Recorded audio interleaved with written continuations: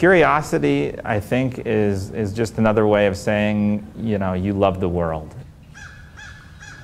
As far as I can remember, back when I was a kid, I've always been interested in the world around me, and I was always, um, always getting books about uh, nonfiction things.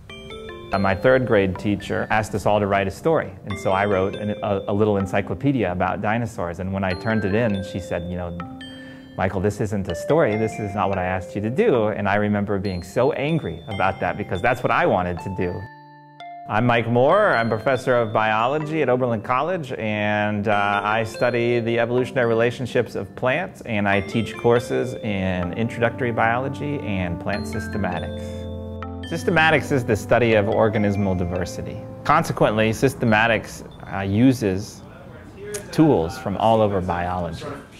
What we want to do is bring all these different lines of evidence to bear on questions relating to the evolutionary history of different organisms. We're trying to understand the history of life on Earth. Kids grow up generally without any real awareness of plants. And and I call that plant blindness. So what I like to do is to, to, to teach them very, very cool things about plants and, and constantly, uh, you know, be a plant geek and uh, tell them how exciting plants are and show them cool plants. And, and by the end of the semester, I think a lot of them have sort of uh, awoken about plants.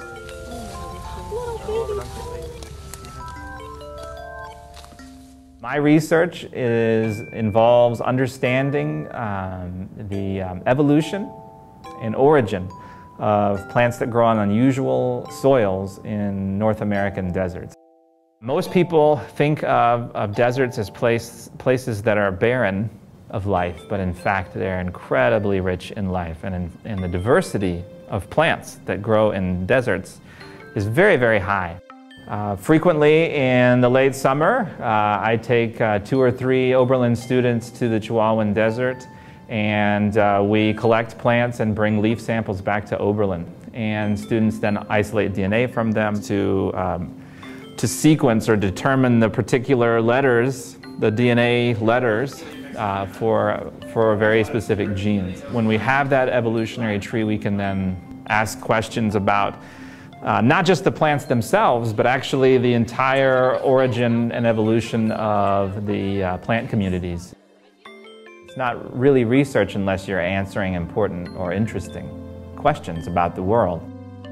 Plants are amazing, amazing things. They, they can't get up and move, and many, many things eat them, and yet we're surrounded by them. And I think that's a fascinating thing. How do plants manage to survive?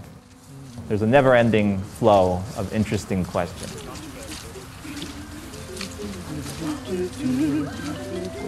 The most important thing you can do in your life is to follow, uh, you know, follow a path that you really love, right? You have to be excited about what you're doing.